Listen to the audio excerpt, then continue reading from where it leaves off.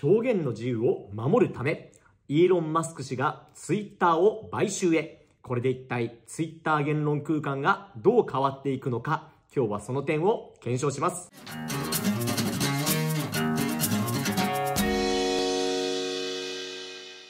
はい、こんばんは。参議院議員の音喜八です。チャンネル登録やいいね、コメントでの応援をよろしくお願いします。今日は4月の26日にこちら収録をしておりますけども、まあ我々のようにね、インターネットを使って情報発信をしている人たちにとっては、極めて大きなニュースが本日は大きな話題になっております。えこれ NHK の見出しですね。ツイッター、イーロン・マスク氏からの買収提案、受け入れで合意ということで、まあ、世界一の大富豪でもある、まあ、テスラのイーロン・マスク氏が、えツイッターをついに買収するということで合意したということで、えあります。で、これについてはですね、様々報じられている通り、かねてからこのイーロン・マスク氏という方はですね、えツイッターは言論の自由を犯しているということについてたびたびですね、不満を述べてきたわけですね。え言論空間として自由じゃないと、え運営が横暴だということをこう言ってきたと。で、今回のこの買収の目的の大きな目的の一つは、この言論の自由を守るためだと。まあいうことで今回買収に踏み切ったと。そしてその金額はもう驚きですね。440億ドルと。まあ今の日本円総額で5兆6000億円ということで、5兆6000億円で、まあツイッターっていうのはどれだけ価値があるかっていうのはまあいろいろ判断が分かれるところでありますけども、5兆6000億円出して買収したと。まあいうことでから前代未聞のディールが成立したと、まあ、いうことであります。で、私はこの映画まあどうなるかというのは当然先行きわからないですけども、この表現の自由を守るためというですね、イーロン・マスク氏の主張については共感をする人が多いというふうに思っております。というのもですね、やっぱツイッター社の運営についてね、このデマ対策とか誹謗中傷対策というのは、これは、まあ一定プラットフォームとして当然講じていくわけですが、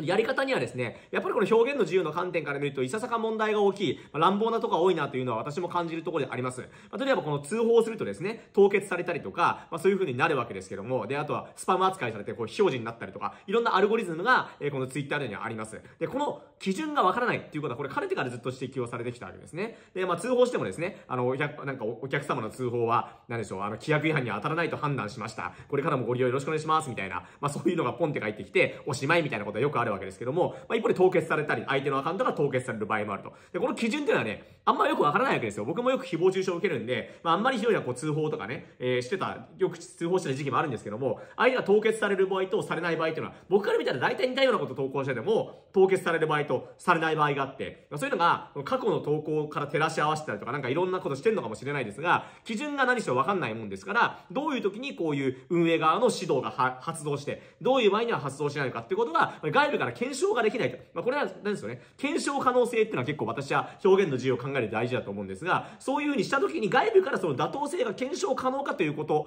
え、が、これがね、今のツイッターの運営上は担保できないという、こういう大きな問題点があったわけであります。なので、イーロン・マスクさんはですね、あの、全部その、デマ対策とか誹謗中傷対策は何もしないと言ってるわけではおそらくないと思います。今の報道ベースの発言を見てると。ただそういうふうに、基準が不明確なまま運営していることが問題だと言ってるわけですから、ぜひですね、ここの透明化するということに関しては、私はイーロン・マスクさんの、え、この、まあ、買収後の運営どうするかわからないですが、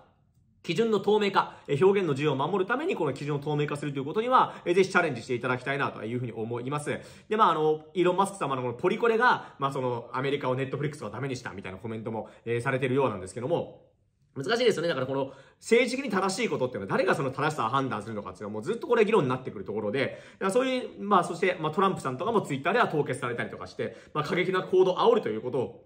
じゃあ誰がその基準を、えー、トランプさんをツイートを凍結するということを決断するのか、その妥当性がどうなのかということは、これはもう、あの、個別具体的に一個一個検証していかなければわからないぐらい、あ本当に複雑な話題では、えー、あるんですけども、まあ、やはりこの、できる限り表現の自由は担保して、え、そして責任はしっかりと追求できる体制。何か、え、運営側が、え、こう、アカウントを閉じたりとか、凍結したりした時には、え、外部から検証ができるように、そして誹謗中傷のアカウントがあった時はですね、しっかりそれは、あの、発言には自由だけど、責任が伴うわけですから、まあ、その、法的な、何か、え侮辱だとかですね、名誉毀損があれば、それをしっかり負わせられるような体制づくり。これはあの、日本の法律とかにも絡んでくる話ですけども、私はあの、発言はやっぱり極力自由である限り、